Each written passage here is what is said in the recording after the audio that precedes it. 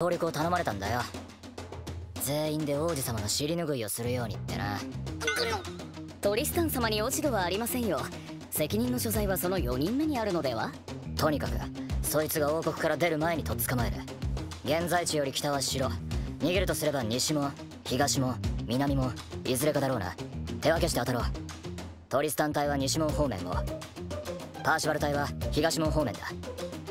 俺は単独で南門方面を探してみるトリスタン4人目について分かってることを話せ。そそうだね。そんな必要あるのかな？どうせ僕らで捕らえちゃうだろうし。おい。4人目の名はガウェイン。金の装飾をあしらった真っ白な全身鎧をまとった長身の騎士だ。